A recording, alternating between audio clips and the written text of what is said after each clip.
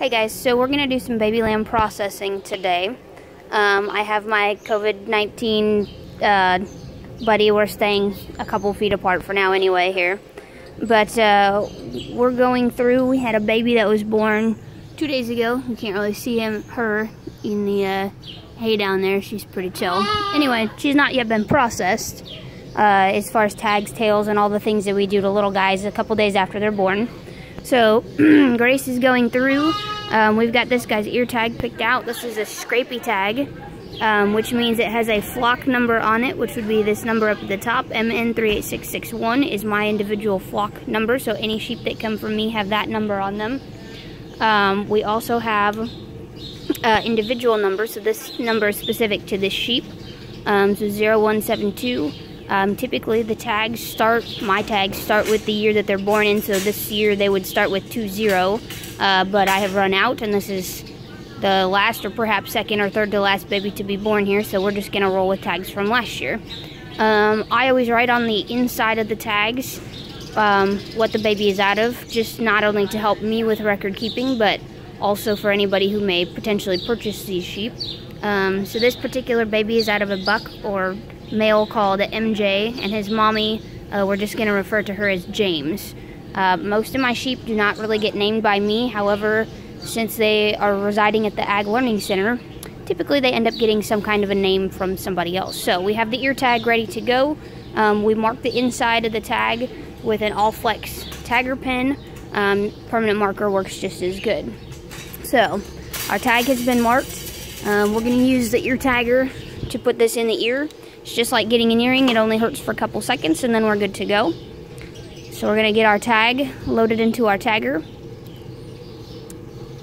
It's pretty simple, pretty easy to do. So you simply push down on the clip to load the tag. Other end. Oops. There we go. This way? Yep. Rotate. Rotate. The round part goes in the round end. There you go. Just like that. So we see it slides right into place. Holds in like that. Then put that part on the pin. There you go. Slide down, push it down to make sure it sits in there good. Voila. And then we can double check. We should be able to kind of close it and make sure the ends close together so it will fasten in the ear correctly. So our ear tag is loaded. We're also going to band the tail using our tail bander or an elastrator is another name for it. So you simply squeeze the handle and it stretches. Grace, could you load a rubber band? Our rubber bands, or some people will call them Cheerios, are these tiny little things and you can see based on the size of my thumb. This thing's not very big.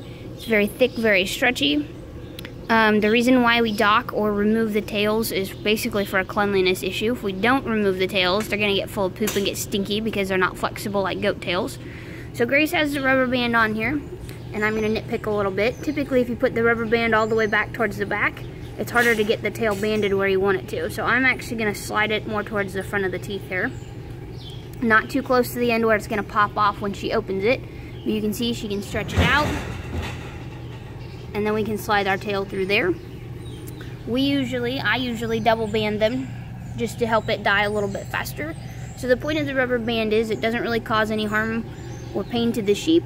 Um, the rubber band will cut off the circulation and eventually, usually within a week, that tail will fall off completely on its own and the wound will be all healed up and there should be no issues. I usually keep an eye on them. If they start to get really stinky, we can give them um, some antibiotics, can get them treated, or in some cases we might finish cutting off the tail um, to help it heal a little faster. But by that point, there's not even any blood or anything to really worry about. The other thing we're going to do is this baby's going to get a shot of CD&T, Clostridium perfringens type C&D. So those are basically good bacteria for their stomachs that help them to not be overeating um, which is something that baby lambs are very well known to do, especially if they don't get C&D. Um, and then tetanus, which everybody gets a tetanus shot, so hopefully we all kind of understand that. Um, so they'll also get a shot of that. And then we're also going to ear tag his mommy with a flock tag. So all of my sheep um, have one of these tags. It tells me who their number is. This goes into my spreadsheet and I can keep track of all of the information. On the back, just like we did with the babies, I have who the parents are. So, there we go. All right, Grace has got the rest of the information or the rest of the stuff here, huh? Which one first? Uh, it doesn't matter. There's another COVID-19 staying a socially acceptable six to 10 foot away. Okay. So our baby is in this stall here. We've got a couple older babies that uh, have been getting a little TLC. So we're gonna hop in the pen with mommy here. This is a first time mommy, so this is the first time she's had a baby. So mother sheep would be called a ewe. Baby would be called a lamb. So notice this one is white face, so she is a Dorset, is her breed. Her baby is speckle face. So this one actually has a daddy who's got black face and black legs. He's some kind of a Hampshire Suffolk cross. Could be some other breeds of sheep. All right, Grace is gonna get this little guy up. Second rubber band. Right here. Okay. Yep. This little guy's kind of taking a snooze. We're gonna get him up. Let him stretch out for a second. He was born not yesterday, but the day before, so he's an April Fool's baby. When Grace goes to band his tail, she's gonna take him, she's gonna spin him backwards. Now Grace has seen this done several times before, so she's been kind of trained in on how to do this. We're gonna make sure mommy doesn't knock her over here. so she's got her kind of situated between her legs where she can have control of the sheep and see what she's doing. And she's gonna stretch out her rubber band. There we go. And slide it over the tail. And she's gonna pull it up, in this case, as high up as she possibly can. Um, because this sheep will hopefully maybe be shown someday. Okay. Um, we want to make sure that the tail gets banded up nice and high. Now, not everybody bands it nice and high. Some people will leave it back an inch or maybe even longer, um, but cut off a, a long majority of it. So, in this case, Grace, I think we've got it pulled up pretty tight. So when Grace has it where she wants it, she's going to release and let it go. And then we're going to give her the second one. She's going to load the band on the lastrator, or the bander. Get it stretched out. She's gonna slide it on. One thing too, Grace, you can do is if you twist your bander that way, Which so this twist it so this handle's up. Sometimes you can get it on a little further yet. Okay. and you might have to switch your hand. Whoop, sorry, viewing audience. You might have to switch your hand a little bit. There you go. So she's got it stretched out. She's gonna go up and over, and if you can go further than the first one, you can go further than the first one even. She's got it pulled into place. There we go. All right, let her go. Voila, tail's banded. Now, baby lambs are very dramatic, and it's also pinching on that nerve a little bit. So when Grace lets this thing go, it might kind of flop around, or it might think it's doing just fine. now she thinks she's hungry or just looking to mommy for some comfort anyway. Hi, baby. All right, so tail is banded within a week or so. That thing will probably fall off. So now Grace can get ready to give the ear tag.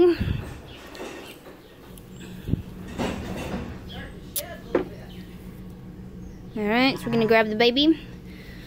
Now this ear tagging sometimes is maybe more challenging. We tag all the females for my sheep in the right ear, so Grace is gonna put this tag in the right ear. So Grace, for our viewing audience here, what is the right ear? It would be this one. Correct. So standing from behind the animal will be the same as your right. So in this case, as we're looking at it, it looks like the left, but if we go behind it, it is actually the right ear. So she's putting it in this ear. Now, there's two ways you can do this. Somebody can either hang on to the sheep and you can tag it, or I usually am doing this by myself. So Grace is gonna looks like do kind of what I do, and kind of again squeeze the baby down here between your legs, grab the tagger, I p- different people do this different ways. I usually put the pin of the tag in the back part of the ear, so Grace would flip it. That's usually how I do it. We're kind of shooting for just low, just below the center of the ear. Do you need me to hold it, or are you gonna be able to get it? Um, I s- probably yeah. There we go. It's so hard.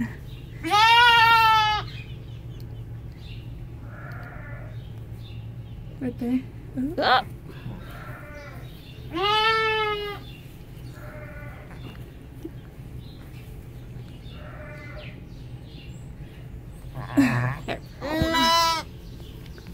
Okay, so technical difficulties here. Grace hasn't tagged very many, and it's okay. It's all right. We get it. Okay. So, so now I've got the baby. Grace has the tagger.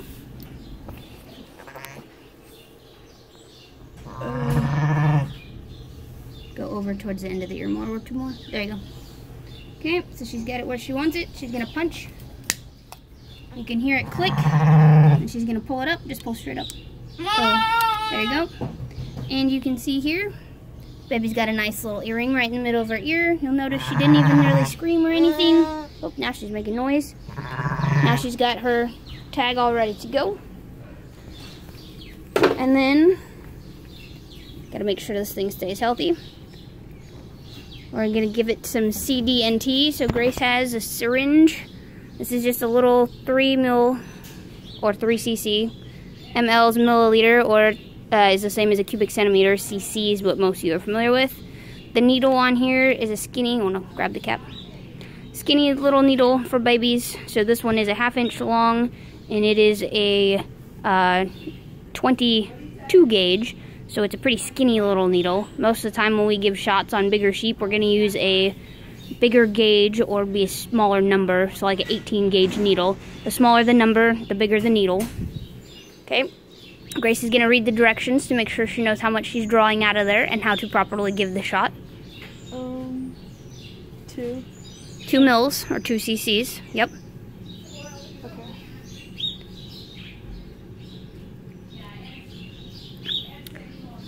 So she's going to poke the needle into the end. Pull black on the plunger. I already shook this up so it's shaken and ready to go.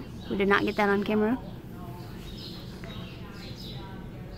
Great concentration is required in Grace pulling out the drug from the bottle. Alright. There we go. Alright. So, she's going to put our cap back on for safety purposes. That way I don't get a swift jab in the behind or something. Good. Yep. Okay. And we're gonna grab the baby. Now for this, usually I hold the syringe in one hand and flip them upside down and give it in the bottom flank. For those not versed in giving lots of sheep shots, that might be challenging. So I'm gonna hold the baby kind of upside down like this. Here's the flank down here. Sorry if you weren't expecting that. Um, Grace is gonna get our needle and syringe ready to go. And she's gonna poke it just under the skin here Right there. right there in the flank, the rear flank. Sorry if you don't like needles. Poke. She's just under the skin, not in the muscle. Yep, right there. Grace did a nice job, and she's gonna slowly push the medication in. When she's done, she's gonna pull back the syringe and then give it a little poke, just to make sure everything stays in. And we're done. Now the only thing left to do is give mommy her new ear tag because she did not get that yet. Do you have that? I have that in my pocket. So again, Grace is gonna load the ear tag backwards. Oh, There we go. this is. She's gonna pinch it to make sure that it lines up. Okay. Now, with these bigger ones, I don't really care which ear it's in. Since this ear already has a big tag in and this ear does not, we're gonna shoot for this ear that has a little tag in. Bigger sheep are usually gonna fight a little bit more. Let's slide this one Right. out of the way. So shoot for about right where my thumb is at. Okay. Now this sheep could potentially jump. Hopefully not. Grace is gonna pinch quick. Got it. Not got it. Uh-oh. So, this is what what happens when we have technical difficulties, which happens, you know, semi-frequently. So, apparently, did we rip her ear? It looks like we did not squeeze quite fast enough. And, uh, we did not rip the ear, but we got a little bit of some wool on there. And our tag snapped together. Good job, Grace. But it didn't snap together in the ear, so... Um, troubleshooting is we get a new tag. Problem is, I'm out of tags. so, she'll get a new earring on another day, apparently. But, that's how we process little babies. Sorry, Mommy. Next time. It's, it's like when you go to the mall and they're not working and you're like so disappointed because you didn't get that new earring you wanted.